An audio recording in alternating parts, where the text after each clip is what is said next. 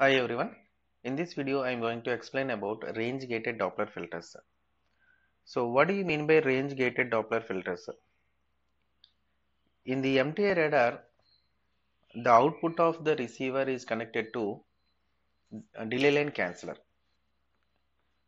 In MTI radar that means the output of MTI radar is having both uh, uh, stationary target information and moving target information. How we have uh, uh, considered only stationary target uh, elimination and only moving target identification that is based upon the delay line canceller what the what is the purpose of delay line canceller delay line canceller keeps only moving targets and eliminates all stationary targets by using some subtractor in it.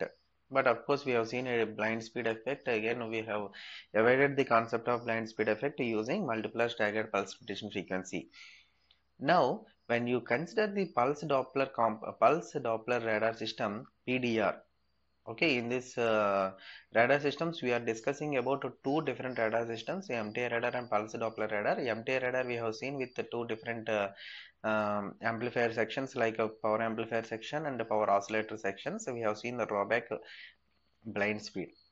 Now, when you consider the pulse Doppler radar system, pulse Doppler radar system. How this pulse Doppler radar system is going to be created? Transmitting section of transmitting section of pulse radar system. I am just recollecting what is the pulse Doppler radar system.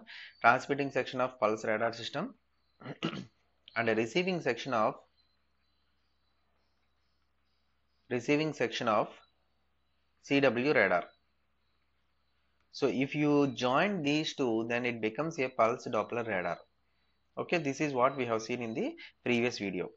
Now, this pulse Doppler radar system, how this uh, in the previous uh, in MTI radar, I told you the stationary targets and moving targets can be eliminated, uh, can be separated by using a delay line canceller. But in pulse Doppler radar, a range gated Doppler filter is the method to eliminate the stationary targets and to get the moving target echoes because both MTI radar and pulse MTI radar and pulse Doppler radar are used to identify the moving target information but not stationary target information. So definitely we should use some methods or techniques to identify the moving targets among large number of clutters. So range gated Doppler filters range gated Doppler filter is used in pulse Doppler radar to identify moving targets in large number of stationary clutters okay? So when you are having n number of stationary clusters among them one moving target is there that can be identified by using your pulse doppler radar by using the concept called range gated doppler filter. So what do you mean by range gated doppler filter? So what do you mean by range gated doppler filter? Uh, generally the loss of information the loss of information the loss of information related to range may be eliminated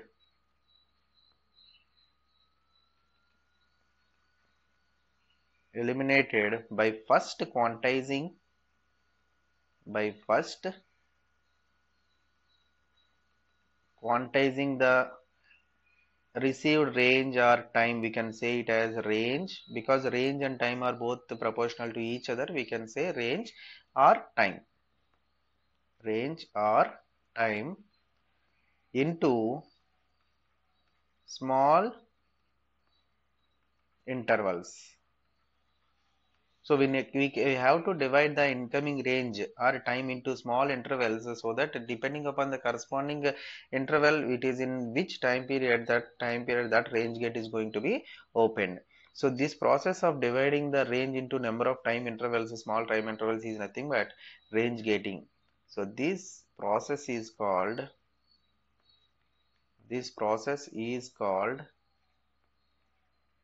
range gating. Okay what we are doing?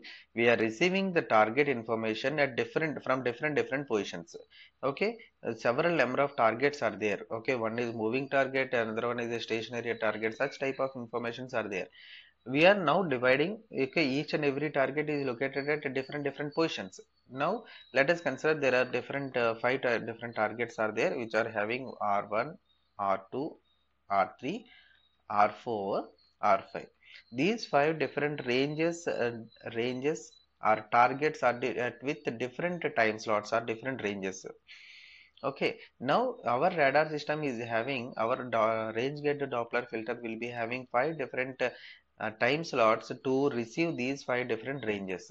So first time slot will receive r1 to five, fifth time slot will receive r5 like this we will divide. The corresponding range filter will be activated and it will be sending to the processing unit. Okay? So the output for the stationary target is a series of pulses with constant amplitude. Um, what what is the meaning of consideration of range with different targets what happens with the range from the stationary target? Stationary target will be producing always same range. But moving target will be producing always different ranges because its distance is always keep on changing depending upon the movement of the target. Okay suppose if the target is moving away from the radar system the distance increases. If the target is moving uh, towards the radar system the uh, distance decreases. Depending upon the movement of the target the range always keep on varying but what about the stationary target? The stationary target will be also uh, will be having always a constant amplitude. So the stationary target's output is a series of pulses which are with constant amplitude always. But what about the moving targets? They are keep on changing. Okay? So now uh, how this uh, concept is going to be implemented is the input output of this pulse doppler radar output of the pulse doppler radar. This is the pulse doppler radar. See in the previous case when we were discussing the delay line canceller i told you the output of mti radar. Because delay line cancellers are used in mti radar pulse doppler radar uses range gated doppler filters. Both are used to identify the moving targets among large number of stationary clutters okay so the output of this pulse doppler radar is given to range gated doppler filters. As i told range gated so number of ranges are being selected here. N number of selections are there. N number of filters we are using to select a particular frequency a particular time zone. Okay so the first range gate this is the first range gate second range gate third range gate and so on. We will be having n number of range gates. The output of first range gate see i will explain only one uh, channel because every channel is having same setup. N number of channels are repeated here. Now so the output of range gated filter range selector is given to boxcar generator. What do you mean by boxcar generator?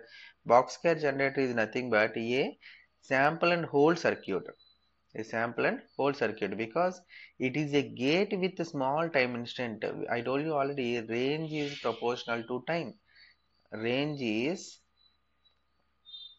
range is proportional to time. So you are selecting a particular range means you are giving a particular time slot. Okay? Like uh, 1 to 2 millisecond 2 to 3 millisecond 3 to 4 millisecond. Like this we are selecting 1 2 3 4 filters so as we are selecting a particular sample from the input uh, from the output of pulse doppler radar that sample has to be stretched and keeps for some time to observe. Okay? So that's why boxcar generator is used which produces a sample and sample and hold circuit.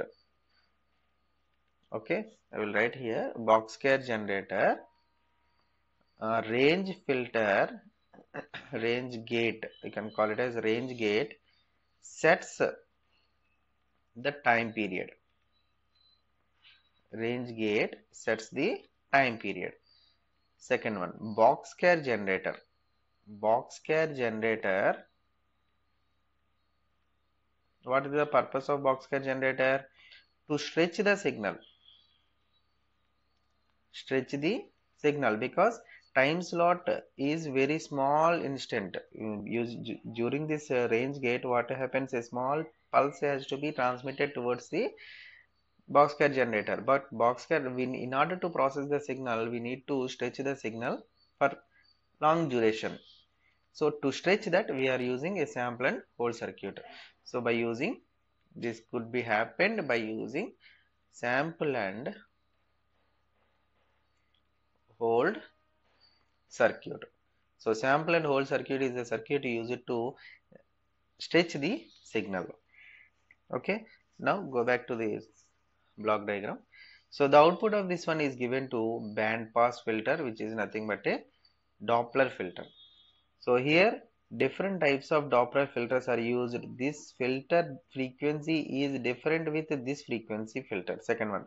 Again for third one again for n number okay. So each and every band pass filter is used to particular uh, select a particular doppler frequency component from the received signal frequency. See what happens here which is the stationary target and which is the moving target that is being eliminated by here only.